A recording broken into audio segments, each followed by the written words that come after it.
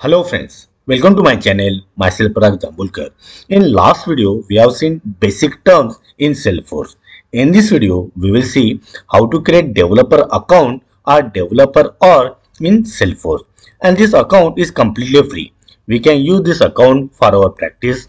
We can create our app, we can create tabs, we can import data, we can export data, we can write Apex code and also we can run our programs.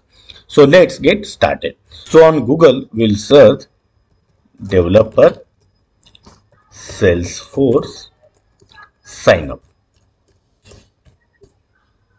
So here we got this link. We'll open it.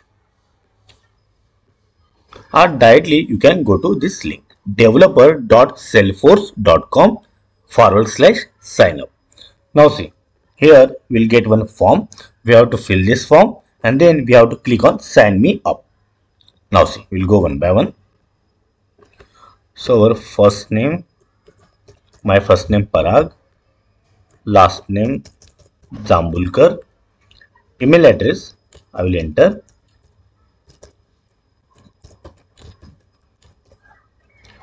So job role, so I will I am choosing developer. Company name, so any company name. So if you are working for any company, so that company name here you can mention. Here I am mentioning Comrevo. Country, India. Postal code, so I will enter. Then this is important. So see how to enter username. See this username it is written here your username must be in the form of an email address. So normally how we have email address? Something at gmail.com something like this right? So here we'll mention. So see admin at suppose i am writing something like this jamie jackson.com so any any name you can give but it should be in the form of email id so here i am mentioning admin at jamiejackson.com okay likewise you can mention. Or you can mention something like this.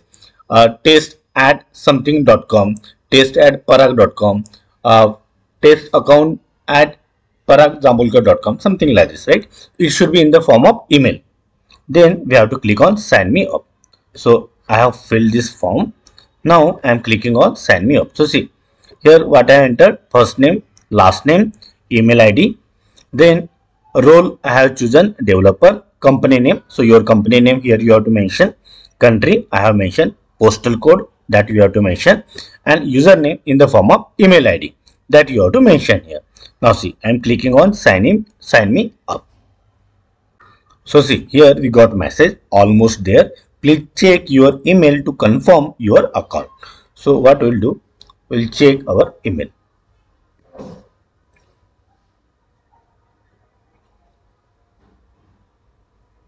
So here we got this email from developer at Salesforce. See, we'll click here. Here it is subject line is welcome to Salesforce. Verify your account. Now see, we'll click on verify account. Okay, so it is asking for the password. Some password we will enter. So it is written. It should be there should be eight characters, one letter and one number. So minimum requirement we have to satisfy.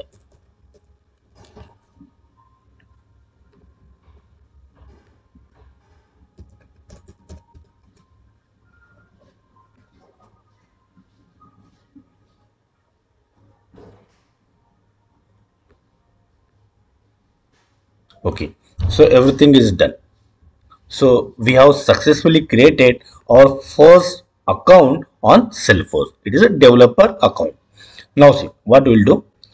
We will log out and we will see how to log in. So log out. Now see. So I am closing everything. So see I am closing this. Now see to get login into your developer account what we have to do we have to type URL login dot salesforce com. If you are not getting this, so you can search this on Google. So you'll get first link. So that link also you can use. See, this link you can use. login.salesforce.com. Now see what are the username that we have given. So that we'll use admin at jamiejackson.com. So whatever the uh, username that I have given, so that I have mentioned here, password. Okay. Now click on login. This window I got to register my mobile number, but I don't want to do it now. So I'll click on remind me later.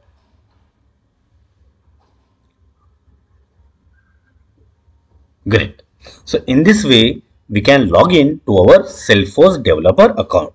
So in this video, we have seen how to create developer account in Salesforce and also we have seen how to log in into Salesforce developer account. So to create developer account in Salesforce, we have to use this link developer.salesforce.com forward slash sign up and to log in into our developer account we have to use login.salesforce.com so in this way we can create developer account in Salesforce and also we can log in.